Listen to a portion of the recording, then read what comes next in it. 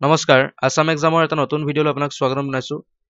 আৰু কেইদিনমান আগতে ভাৰতৰ যি চন্দ্ৰযান মিছন সফল হৈছে তাৰে ওপৰত আজি কেইটামান গুৰুত্বপূৰ্ণ প্ৰশ্ন লৈ আহিছোঁ কাৰেণ্ট এফেয়াৰ্ছৰ কাৰেণ্ট এফেয়াৰ্ছৰ ভিতৰতে পৰে এই প্ৰশ্নখিনি।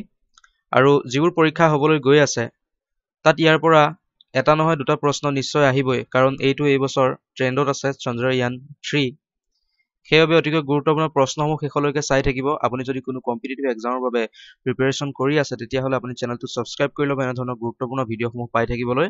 আহক এতিয়া প্ৰশ্নকেইটা কি আছে চাওঁ। এক নম্বৰ প্ৰশ্নটো কি আছে? আৰু প্ৰশ্নবোৰ চোৱাৰ আগতে আপোনালোকৰ বাবে এটা প্ৰশ্ন লৈ আহিছিলোঁ সেইটো চাই লওক। Which of the following is the first country to successfully land on the moon's surface তলৰ কোনখন দেশ চন্দ্ৰৰ পৃষ্ঠত সফলতাৰে অৱতৰণ কৰা প্ৰথমখন দেশ? চাৰিটা অপশ্যন দিয়া আছে U S A Russia China India America Russia চীন আৰু ভাৰত। ইয়াৰ পৰা কোনটো শুদ্ধ হয় আপোনালোকে কমেণ্ট কৰি দিব। এতিয়া আহক নেক্সট কুৱেশ্যনটো চাওঁ। যিটো ফাৰ্ষ্ট কুৱেশ্যন আছে আজিৰ ফাৰ্ষ্ট কুৱেশ্যনটো আছে which Indian space agency is responsible for the Chandrayaan three mission Chandrayaan three অভিযানৰ বাবে কোনটো মহাকাশ সংস্থা দায়বদ্ধ? মানে কোনে লঞ্চ কৰিছে সেইটোৱে সুধিছে ইয়াত। চাৰিটা অপশ্যন আছে ইয়াৰ পৰা শুদ্ধ উত্তৰটো হ'ব অপশ্যন বি ইছৰ' ইছৰ' হ'ল ভাৰতীয় মহাকাশ গৱেষণা সংস্থা আৰু ইয়াৰ পৰাই লঞ্চ হৈছে এই চন্দ্ৰযান মিছন ইছৰ'ৰ সম্পূৰ্ণ নামটো হ'ল ইণ্ডিয়ান স্পেচ ৰিচাৰ্চ অৰ্গেনাইজেশ্যন স্থাপন কৰা হৈছিল পোন্ধৰ আগষ্ট ঊনৈছশ ঊনসত্তৰ চনত। আজিৰ পৰা প্ৰায় চৌৱন্ন বছৰ আগতে হৈছিলে। আৰু ইয়াৰ বৰ্তমান চেয়াৰমেন হ'ল শ্ৰীধৰ সোমনাথ। মনত ৰাখিব শ্ৰীধৰ সোমনাথ হ'ল বৰ্তমান ইয়াৰ চেয়াৰমেন আৰু মুখ্য কাৰ্যালয় আছে ইছৰোৰ বেংগালুৰু কৰ্ণাটকত। দুই নম্বৰ প্ৰশ্ন আছে what is the launch date for Chandrayaan three mission Chandrayaan three mission কেতিয়া লঞ্চ হৈছিল? শুদ্ধ উত্তৰ হ'ব অপশ্যন বি চৈধ্য জুলাই তাৰিখত। চৈধ্য জুলাই তাৰিখে চন্দ্ৰযান থ্ৰী মিছন লঞ্চ কৰা হৈছিল। আৰু এই চন্দ্ৰযান থ্ৰী যি মিছন ইয়াৰ ভাৰতীয় মহাকাশ গৱেষণা সংস্থাৰ দ্বাৰা লঞ্চ কৰা তৃতীয় চন্দ্ৰ অভিযান। ইছৰোৱে লঞ্চ কৰিছিল এইটো তিনি নম্বৰ অভিযান। ইয়াৰ আগতো Chandrayaan one Chandrayaan two launch কৰা হৈছিল। তাৰপিছত এইটো হ'ল চন্দ্ৰয়ান থ্ৰী এইটো হ'ল তৃতীয় মিছন নেক্সট কুৱেশ্যনটো আছে which launcher is used for Chandrayaan three Chandrayaan থ্ৰীৰ বাবে কোনটো লঞ্চাৰ ব্যৱহাৰ কৰা হয়? কোনটো লঞ্চাৰ ব্যৱহাৰ কৰা হৈছে? আৰু ইয়াৰ পৰা শুদ্ধ উত্তৰ হ'ব option three L V M three rocket. এই লঞ্চাৰটো ব্যৱহাৰ কৰা হৈছে ইয়াৰ সম্পূৰ্ণ নামটো ইয়াক G S L V M three বুলি কোৱা হয় জি এছ এইটো আগত লগাই দিয়া হয় geosynchronous satellite launch vehicle mark three. চমুকৈ কোৱা হয় এল ভি এম থ্ৰী বা G S L V M three. G S L V M three বুলিও কোৱা হয় আৰু এল ভি এম থ্ৰী বুলিও কোৱা হয়। তাৰপিছতে আছে The Chandrayaan 3 mission's rover is known as Dash. Chandrayaan three মিছনৰ ৰভাৰখনৰ নাম কি আছিল? মানে কি নামেৰে জনাজাত? এইটো সুধিছে। ৰভাৰখনৰ নাম আছিলে প্ৰজ্ঞান। অপশ্যন চি হ'ব শুদ্ধ প্ৰজ্ঞান। ৰভাৰখনৰ নাম আছিল প্ৰজ্ঞান। আৰু লেণ্ডাৰখনৰ নাম কি আছিল? লেণ্ডাৰখনৰ নাম আছিল বিক্ৰম। আৰু যিগৰাকী ইছৰোৰ অধ্যক্ষ তেখেতে কৈছে যে লেণ্ডাৰৰ বাবে বিক্ৰম আৰু ৰভাৰখনৰ নাম প্ৰজ্ঞান ৰখাৰ কাৰণটো হ'ল চন্দ্ৰয়ান যি চন্দ্ৰয়ান টু আছিল সেই অভিযানক সন্মান জনাই এই নাম দুটা দিয়া হৈছে। চন্দ্ৰয়ান টুত যি ৰভাৰ আৰু লেণ্ডাৰ আছিল তাৰো নাম আছিল প্ৰজ্ঞান আৰু বিক্ৰম আৰু সেই মিছনটো ফেইল হৈছিল আৰু সেইবাবে সেই একেকেইটা নামকে চন্দ্ৰয়ান থ্ৰীত যি লেণ্ডাৰ আৰু ৰভাৰ আছে তাতে দি দিয়া হৈছে। মনত ৰাখিব। নেক্সট কুৱেশ্যনটো আছে Chandrayaan three has been launched from which of the following centres Chandrayaan তিনি ক'ৰ পৰা উৎক্ষেপণ কৰা হৈছে সুধিছে? আৰু ইয়াৰ পৰা শুদ্ধ উত্তৰ হ'ব অপশ্যন বি অপশ্যন বি যিটো আছে সতীশ ধাৱান স্পেচ চেণ্টাৰ ইয়াৰ পৰা চন্দ্ৰয়ান থ্ৰী লঞ্চ কৰা হৈছিল। আৰু এই স্পেচ চেণ্টাৰটো ক'ত আছে? শ্ৰীহৰিকোট অন্ধ্ৰপ্ৰদেশ। অন্ধ্ৰপ্ৰদেশৰ তিৰুপতি ডিষ্ট্ৰিক্ট তিৰুপতি ডিষ্ট্ৰিক্টৰ শ্ৰীহৰিকোটৰ পৰা লঞ্চ কৰা হৈছে আৰু এই সতীশ ধাৱান যি মহাকাশ কেন্দ্ৰ আছে এইটো আছে শ্ৰীহৰিকোটত অন্ধ্ৰপ্ৰদেশ মনত ৰাখিব। নেক্সট আছে the mission life of the lander and rover of Chandrayaan three Chandrayaan তিনিৰ লেণ্ডাৰ আৰু ৰভাৰৰ মিছনৰ সময় কিমান? মানে কিমান দিনলৈকে চলিব এই মিছনটো আৰু ইয়াৰ শুদ্ধ উত্তৰ হ'ব option C fourteen earth days মানে চৈধ্য দিনৰ বাবে চলিব এই অভিযানটো। চন্দ্ৰযান থ্ৰীৰ যি লেণ্ডাৰ লেণ্ডাৰটো কাম শেষ লেণ্ড কৰিলে তাৰপিছত ৰভাৰে যি ঘূৰিব তাত চন্দ্ৰৰ ছাৰ্ফেচত চৈধ্য দিনৰ দিনৰ বাবে চলিব এই অভিযানটো। নেক্সট কুৱেশ্যনটো আছে which part of the moon is Chandrayaan three aiming to land Chandrayaan তিনিয়ে চন্দ্ৰৰ কোনটো অংশত অৱতৰণ কৰাৰ লক্ষ্য লৈছে? আৰু ইয়াৰ পৰা শুদ্ধ উত্তৰ হ'ব অপশ্যন চি চাউথ পল দক্ষিণ মেৰুত অৱতৰণ কৰিছে চন্দ্ৰযান তিনিয়ে য'ত এতিয়ালৈকে কোনো দেশে অৱতৰণ কৰিব পৰা নাই। বৰ্তমানলৈকে আমেৰিকা ৰাছিয়া আৰু চাইনাই চন্দ্ৰত অৱতৰণ কৰিছে যদিও এই দক্ষিণ মেৰুত অৱতৰণ কৰিব পৰা নাই। আৰু ভাৰত হ'ল প্ৰথমখন দেশ যিখনে এই দক্ষিণ মেৰুত অৱতৰণ কৰিবলৈ সক্ষম হৈছে। তাৰপিছত নেক্সট কুৱেশ্যনটো আছে on which date was the lander successfully separated from the propulsion module কোন তাৰিখে লেণ্ডাৰখনক প্ৰপালচন মডিউলৰ পৰা সফলতাৰে পৃথক কৰা হৈছিল? আৰু ইয়াৰ পৰা শুদ্ধ উত্তৰ হ'ব অপশ্যন ডি ছেভেণ্টিন আগষ্ট। সোতৰ আগষ্ট তাৰিখে এই প্ৰপালচন মডিউলটোৰ পৰা লেণ্ডাৰখন পৃথক কৰা হৈছিল। এই অংশটোক কোৱা হয় প্ৰপালচন মডিউল ইয়াৰ কাম হ'ল লেণ্ডাৰ আৰু ৰভাৰ ইয়াক চন্দ্ৰৰ একেবাৰে ওচৰলৈ লৈ যোৱা। তাৰপিছত এটা নিৰ্দিষ্ট দূৰত্বত ই তাৰ পৰা বিচ্ছিন্ন হৈ পৰে আৰু যি লেণ্ডাৰখন সেইখন তাৰ পৰা বিচ্ছিন্ন হৈ চন্দ্ৰৰ ফালে আগবাঢ়ি যায়। আৰু লেণ্ডাৰখনৰ ভিতৰতে থাকে ৰভাৰ তাৰপিছত লেণ্ডাৰ লেণ্ড কৰাৰ পিছত ইয়াৰ পৰা ৰভাৰখন চন্দ্ৰপৃষ্ঠত অৱতৰণ কৰে। নিশ্চয় বুজি পাইছে? এইটো হ'ল লেণ্ডাৰ ৰভাৰ আৰু এইখিনি হ'ল প্ৰপালচন মডিউল তাৰপিছতে নেক্সট কুৱেশ্যনটো আছে।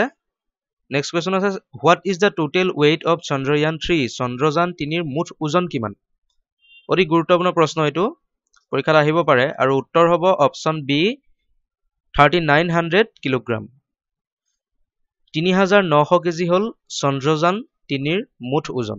মনত ৰাখিব। তাৰপিছতে আছে what is the total cost of mission Chandrayaan three Chandrayaan তিনিৰ মিছনৰ মুঠ খৰচ কিমান? কিমান টকা খৰচ হ'ল?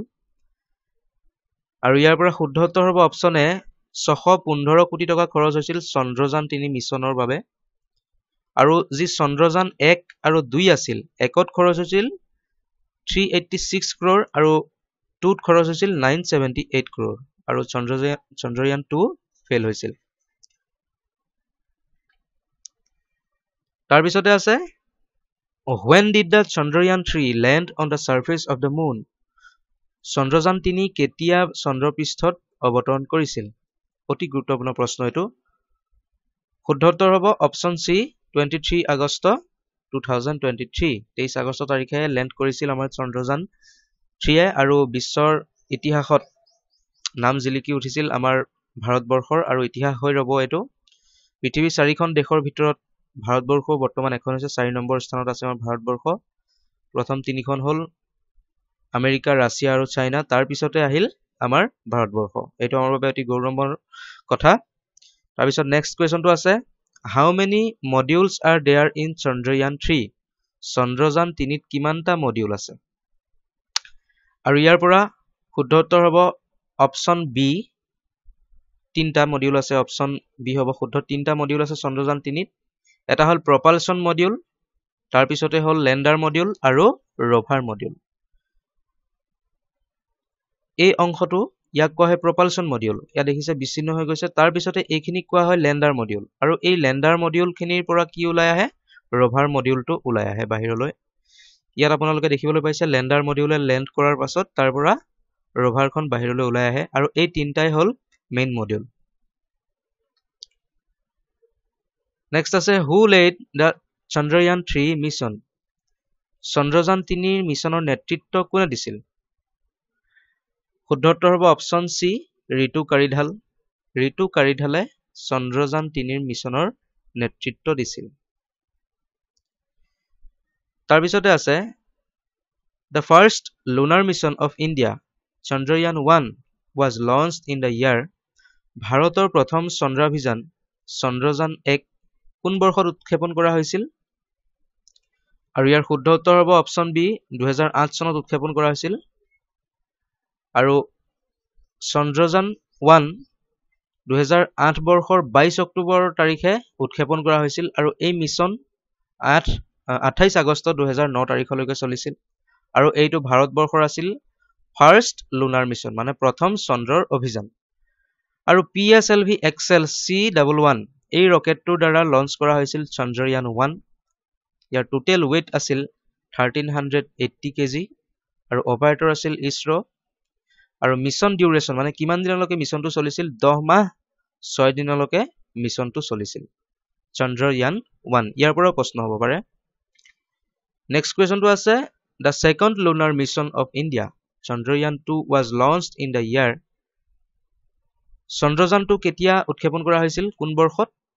আৰু শুদ্ধ উত্তৰ হ'ব option D two thousand nineteen দুহেজাৰ ঊনৈছত চন্দ্ৰয়ান টু উৎক্ষেপণ কৰা হৈছিল। আৰু G S L V M three এই ৰকেটটোৰ দ্বাৰা উৎক্ষেপণ কৰা হৈছিল চন্দ্ৰয়ান টু।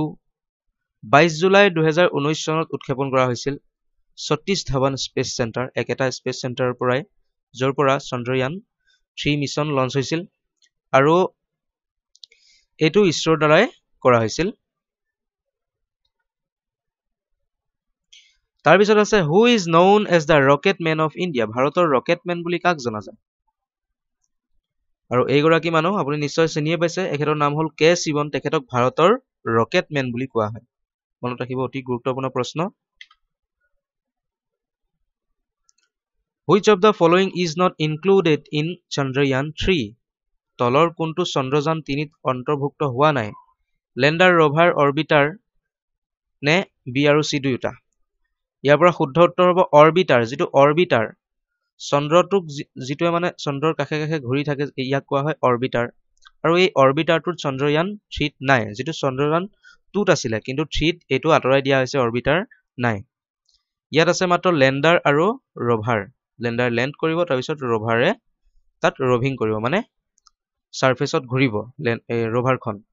আৰু অৰ্বিটাৰটো কিয় নাৰাখিলে? চন্দ্ৰযান টু মিছনত অৰ্বিটাৰ পঠাইছিল। অৰ্বিটাৰটো কিন্তু এতিয়াও ঘূৰিয়ে আছে। অৰ্বিটাৰটো এতিয়াও ঘূৰিয়ে আছে। কিন্তু লেণ্ড কৰোঁতেহে ফেইল হৈছিলে। সেইবাবে অৰ্বিটাৰ চন্দ্ৰয়ান থ্ৰীত পঠিওৱা নাই তাত লেণ্ডাৰ আৰু ৰভাৰ পঠাইছে। তাৰপিছত আছে what is the main objective of Chandrayaan three হ'ব লাগিছিল টু হ'ল থ্ৰী। চন্দ্ৰযান তিনিৰ মূল উদ্দেশ্য কি আছিল? চাৰিটা অপশ্যনৰ পৰা শুদ্ধ উত্তৰ হ'ব option D all of the above. চন্দ্ৰপৃষ্ঠত নিৰাপদ আৰু কোমল অৱতৰণ প্ৰদৰ্শন কৰ্মে ছফ্ট লেণ্ডিঙৰ কথা কোৱা হৈছে। চন্দ্ৰত ৰভাৰ ঘূৰাবলৈ তাৰপিছত চন্দ্ৰৰ পৃষ্ঠভাগ অন্বেষণ কৰিবলৈ মানে ৰিচাৰ্চ কৰিবলৈ ছাৰ্ফেচ এই গোটেইকেইটাই আছিল তাৰ লক্ষ্য চন্দ্ৰযান থ্ৰীৰ আৰু সেইবাবে ইয়াৰ উত্তৰ হ'ব option D all of the above next কুৱেশ্যনটো আছে which of the following scientist from Assam involve in the Chandrayaan three mission Chandrayaan তিনি অভিযানত অসমৰ তলৰ কোনজন বিজ্ঞানী জড়িত আছিল? ইয়াৰ পৰা শুদ্ধ উত্তৰ হ'ব option D both A and B. Chayan Dutta and নিধি শৰ্মা। এই দুয়োগৰাকী বিজ্ঞানী জড়িত আছিল চন্দ্ৰযান তিনি মিছনৰ পৰা মিছনত। আৰু দুয়োগৰাকী আমাৰ অসমৰ। আৰু এখেতক চিনি পাইছে আপুনি বৰ্তমান? এখেত হ'ল চয়ন দত্ত আৰু এগৰাকী হ'ল নিধি শৰ্মা। এখেতৰ ঘৰ হ'ল লখিমপুৰত। এখেতৰ ঘৰ হ'ল লখিমপুৰত আৰু এখেতৰ ঘৰ হ'ল তিনচুকীয়াত মনত ৰাখিব এই দুগৰাকী বিজ্ঞানী আমাৰ অসমৰ গৌৰৱ এই দুগৰাকী চন্দ্ৰযান তিনি অভিযানত জড়িত আছিল। তাৰপিছতে আছে what is the name of India's first solar mission which is ready to launch in September two thousand twenty three by ISRO' ইছৰোৰ দ্বাৰা দুহেজাৰ তেইছ চনৰ ছেপ্টেম্বৰ মাহত লঞ্চ কৰিবলৈ সাজু হোৱা ভাৰতৰ প্ৰথম সৌৰ অভিযানখনৰ নাম কি? Chandrayaan one two three. চন্দ্ৰলৈ তিনিখন যান পঠালে বৰ্তমান আমাৰ ভাৰতে। তিনিটা মিছন কৰিলে। সূৰ্যলৈ এটাও কৰা নাই। আৰু সূৰ্যলৈ এইটো প্ৰথম মিছন হ'ব। ছেপ্টেম্বৰতে লঞ্চ কৰিব। তাৰ নাম কি? মিছনটোৰ নাম হ'ল অপশ্যন বি হ'ব শুদ্ধ Aditya L one. Aditya L one নামৰ এই মিছনটো লঞ্চ কৰিব ছেপ্টেম্বৰ মাহত ইছৰোৰ দ্বাৰাই লঞ্চ কৰা হ'ব। কিন্তু ফাইনেল ডেট দিয়া হোৱা নাই। ছেপ্টেম্বৰ মাহত ইয়াত আশা কৰা হৈছে যে লঞ্চ কৰা হ'ব বুলি ৰেডি কৰা হ'ল বৰ্তমান। ইছৰোৰ এইটো প্ৰথম সূৰ্য অভিযান হ'ব। আৰু নাম হ'ল আদিত্য এল ওৱান। আৰু এইকেইটাই আছিল আজি কেইটামান গুৰুত্বপূৰ্ণ প্ৰশ্ন। চন্দ্ৰয়ান থ্ৰীৰ লগত জড়িত। প্ৰশ্নকেইটা ভালকৈ চাব আৰু এবাৰ ৰিপিট কৰি চাব লাগিলে অতি গুৰুত্বপূৰ্ণ। কাৰণ ইয়াৰ পৰাতো এটা নহয় দুটা প্ৰশ্ন হ'ব সেইটো খাটাং। আপুনি যদি কোনো পৰীক্ষাৰ বাবে প্ৰিপেৰেশ্যন কৰি আছে তেতিয়াহ'লে আপুনি গম পাব পৰীক্ষাৰ সময়ত যে আহিছে নে নাই প্ৰশ্ন। নিশ্চয় আহিব কিয় নাহিব? কাৰণ এইটো এবাৰ ট্ৰেণ্ডত আছে গতিকে ভিডিঅ'টো লাইক কৰক চেনেলটো ছাবস্ক্ৰাইব কৰক আৰু সকলোৰে লগত ভিডিঅ'টো শ্বেয়াৰ কৰি দিয়ক যাতে সকলোৱে ভিডিঅ'টো চাব পাৰে। ধন্যবাদ জয় অসম।